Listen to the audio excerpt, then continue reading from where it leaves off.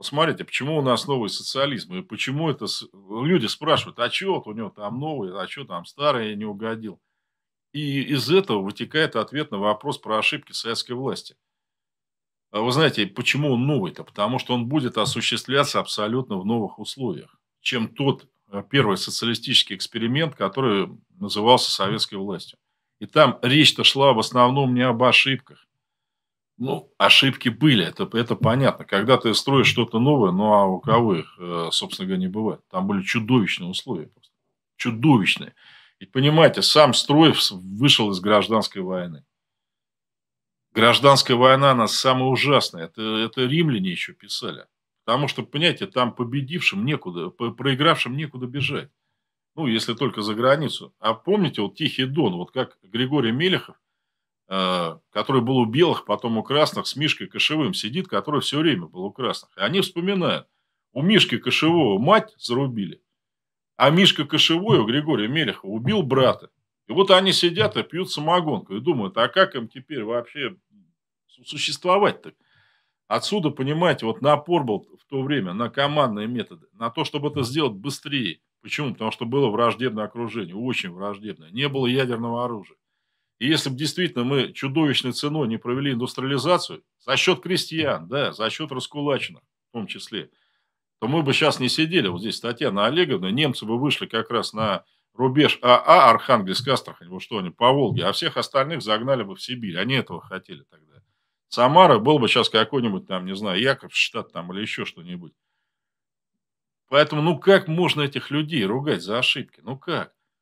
Ведь, понимаете, можно было не проводить коллективизацию. Бухарин это и предлагал. Так, постепенно кулак пусть вырастает социализм. Тогда у нас не было бы построенной за счет села мощной промышленности в 30-е годы. Значит, не было бы ни Т-34, ни «Катюш», вообще ничего. И, значит, мы бы все проиграли. Ну, или, как еще, понимаете, вот афинский стратег Фемистокл, когда он убеждал афинское собрание выступить против персов, а они ему говорят, да ты что, обалдел, что ли их там вон сколько, больше, чем у нас жителей. Он говорил, почему Афины великие, почему мы лидеры греческого мира. Мы давно погибли бы, если бы не погибали. Понимаете, в чем смысл? Поэтому э, какие там могут быть ошибки в том окружении, в котором мы тогда жили. Ну, просто понятно, что если человек живет там, ну, себя где-то в деревне, я ничего плохого не могу сказать. Ему вот это все далеко где-то, там какие-то ядерные подводные лодки, там спутники орбитальные, что-то учения какие-то там на несколько сот тысяч человек все же это очень дорого стоило. А страна у нас была очень отсталой в 17 году, крайне отсталой. Самая отсталая из всех европейских стран, причем в разы, к сожалению. Досталась вот от царя такая. И поэтому все это приходилось делать вот через колено. Напряжением сил, когда не хватало ну, самого необходимого, зато были у нас там, предположим, вот, да, ядерные ракеты. Сейчас при новом социализме мы просто можем этого избежать не потому, что тогда это было неправильно. Тогда это было правильно. Просто сейчас это не совсем уже может быть нужно. Вот для чего была нужна монополия внешней торговли? Вот сейчас некоторые идиоты, ой, опять Татьяна Олеговна, я прошу прощения, козлы, адепты товарища Катасонова говорят, что вот социализм – это там монополия внешней торговли. Да нет, абсолютно.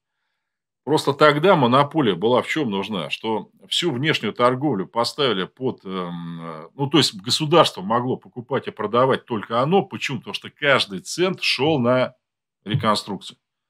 На немедленное создание промышленности. То есть не покупались ни духи, ни, извините, женские челки. Вот ничего, да. Только сверлильные станки из Германии там и прочее. А ведь, понимаете, если этой монополии бы не было, и каждый мог бы за границей покупать вот что он хочет, ну, что более демократично, ну, вот покупали бы как раз чулки, духи, что, что хорошо. Но просто тогда, в 41 году, не стало бы ни духов, ни чулков, вообще ни хрена бы не стало, понимаете? И нас бы тоже заодно к этому. Поэтому сейчас она не нужна, монополия внешней торговли. Сейчас и государство может этим заниматься, и частные лица. У нас сильные ресурсы. Нас сейчас никто не тронет, потому что у нас ядерное оружие. Вот что тогда не было. Мы застрахованы от большой войны.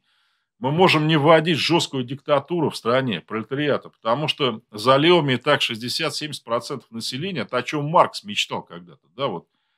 Ленин вынужден был ее ввести, потому что было 10% рабочих, 80% крестьянства, которые вот опять... Что такое крестьянин? модно петь всякие, знаете, вот, вот крест... Ну, я сам, э, как бы, происхождение тоже оттуда. Ну, я, как большинство людей. Но ведь Есенин, например, был жестким критиком крестьянства. Он жил в деревне. Вот этого, знаете, эгоизма, что ли. Вот это вот некой ограниченности. Вот им же говорили, друзья, ну, пожалуйста, сдайте хлеб вот по такой цене. Армию кормить нечем там, и заводы, и фабрики. И говорит, а нам, да, фени.